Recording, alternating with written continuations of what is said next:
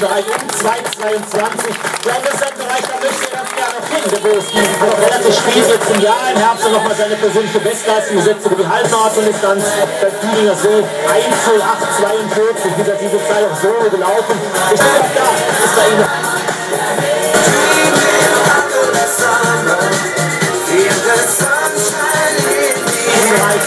sich dieses Dreiergrüppchen befinden. Unter anderem dabei Tilman Golsch, der auch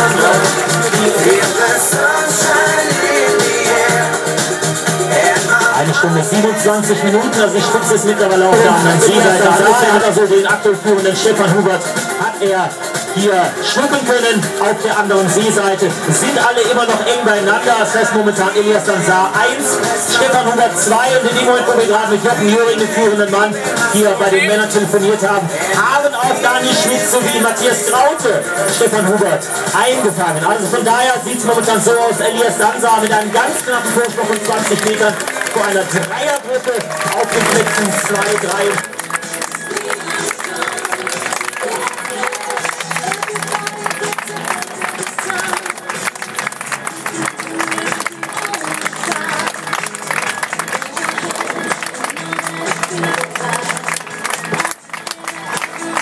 3 Ziel laufen, wenn wir natürlich alle unsere Läufer dann auch mit äh, Konkuren mit Namen und dann haben wir natürlich unser Stückpotenzial der Läufer, die hier laufen, sollte dann die Staffel vielleicht sogar auch schon in Höhe des Halbmarathonpunktes dann bald schon aufhalten.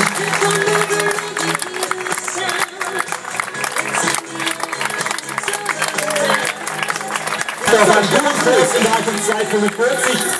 Wir drücken ihm die Daumen, aber auch ihm hat man sicherlich gesagt, dass der Marathon hier in Essen sicherlich in der zweiten Seerunde anfängt.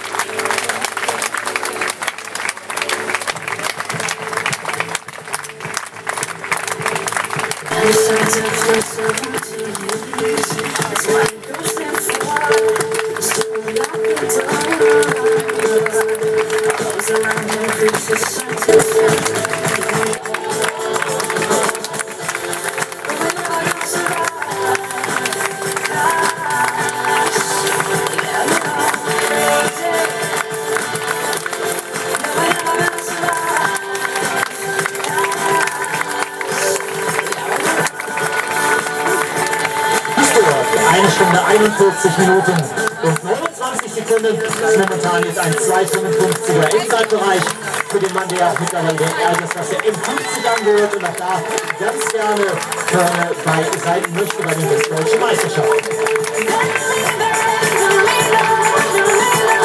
Gerade wieder die Information von der Spitze einfangen können. Kilometer 30 aus 3 machen wir einfach ganz auf Nummer 2.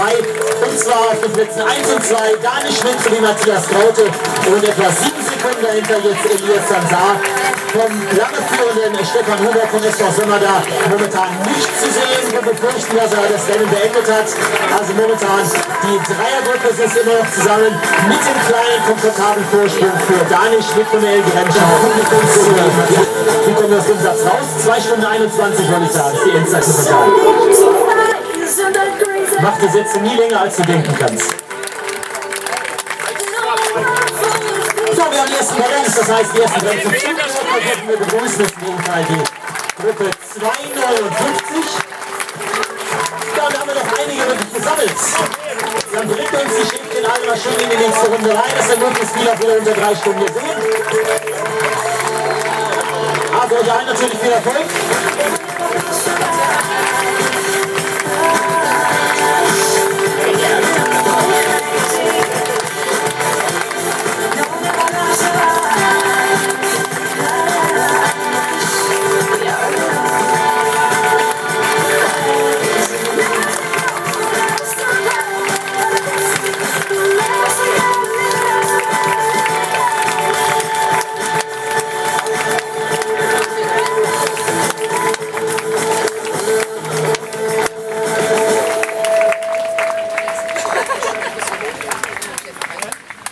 Schlange weist mittlerweile nicht mehr ganz so viele Lücken auf. Eine Stunde 43 Minuten 43 Sekunden. Das ist momentan genau eine 2,59 hoch. Also wer jetzt hier läuft, der hat wirklich dann äh, quasi genau auf Naht genäht. Das muss dann auch in der zweiten Runde punktgenau passen.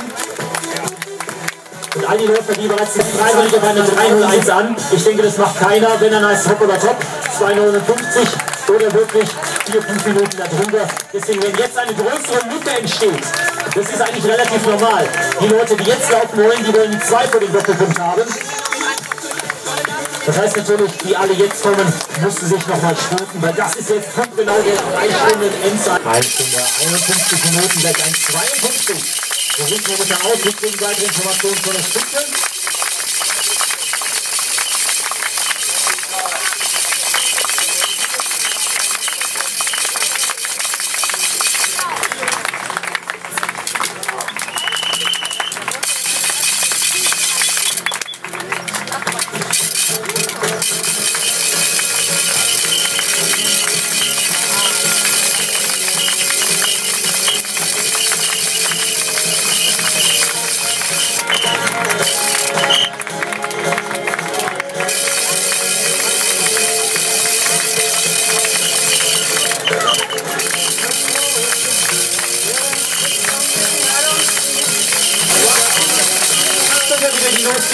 Information von der Männerspitze. Wir waren gerade bei drei, aus drei haben wir zwei gemacht und aus zwei machen wir momentan eins. So sieht es momentan zumindest aus.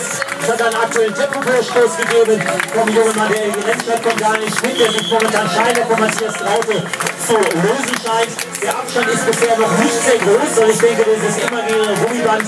Es ist noch nicht zerrissen, aber scheint so zu sein, dass Daniel Schmidt jetzt in einem Kilometerbereich, wo es nicht zum Kupferdreh wieder geht, kurz vor Kilometer 35, möchte sich hören und es scheint ihm momentan noch zu gelingen.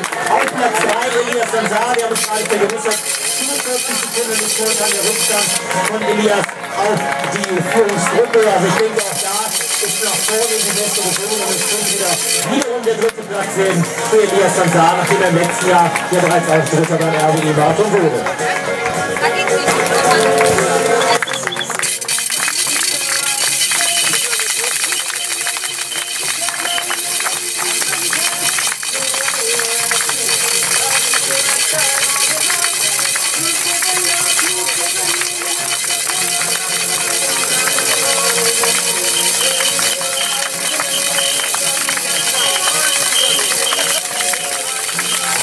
Da haben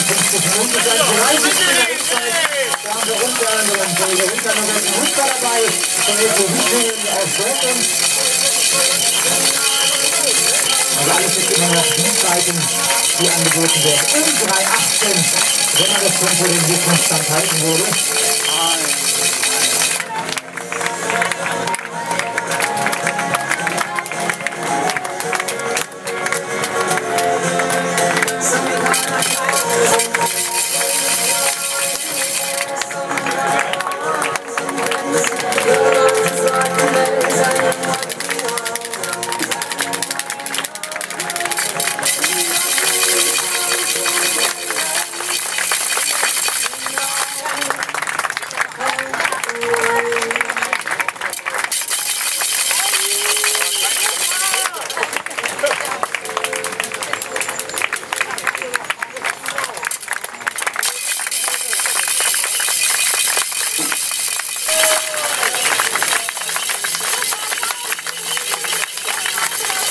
Durchgelaufen. Durchgangszeit 1,54, 48.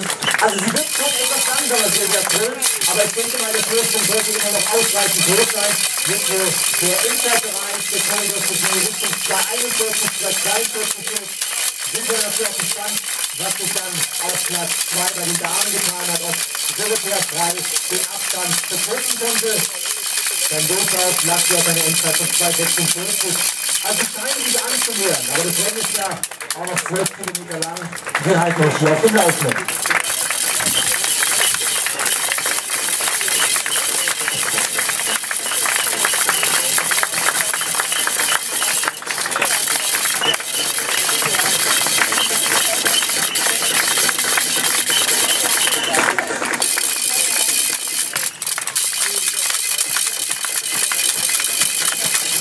Stunde 56 Minuten 40 Sekunden, 3,22er Inside.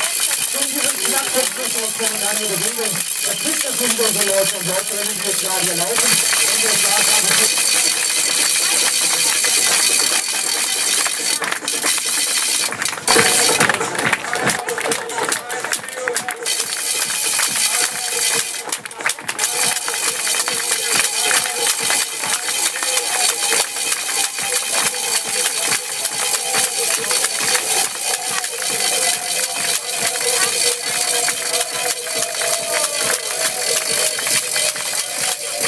bei den Männern haben wir uns ja mal gerade bestätigen lassen, momentan der Förster von Daniel Schmidt etwa 15 bis 20 Minuten, also nicht sehr viel.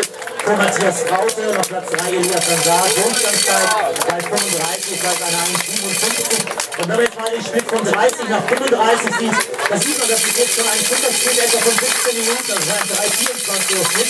Also 3,20, es geht auf 3,24 Minuten raus, das würde dann schwer werden, muss man sagen. Beide Athleten, Matthias Kraut und Daniel Schmidt, werden natürlich nicht mehr das hohe Tempo halten können. Heißt momentan Endzeit prognostiziert 2,21,30. Ich denke mal, wenn er realistisch sind, wird eine 2,22. Wäre natürlich für beide persönliche Bestleistung. Aber hier geht es einfach ganz knapp gesagt noch in den Sieg in der 49. Auflage des RWE Marathons in Essen. Also 15 Meter Vorsprung für Daniel Schmidt vor äh, Matthias Kraut.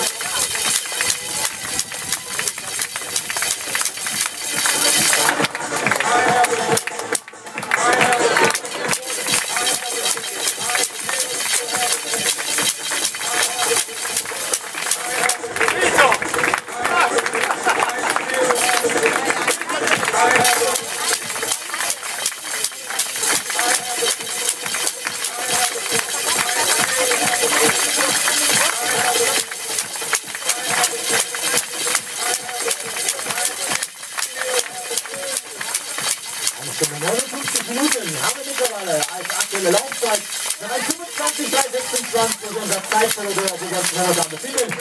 Also alle unsere Teilnehmer, die uns jetzt bereits schon den ersten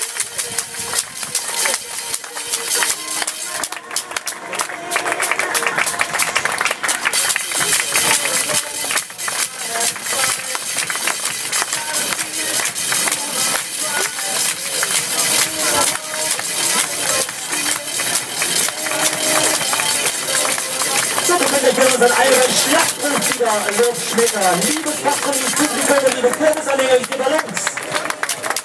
Allerdings soll uns kommende 329er Druck werden so gebildet, hat Schweizer mit einer der größten mit dem 4 Stunden Druck.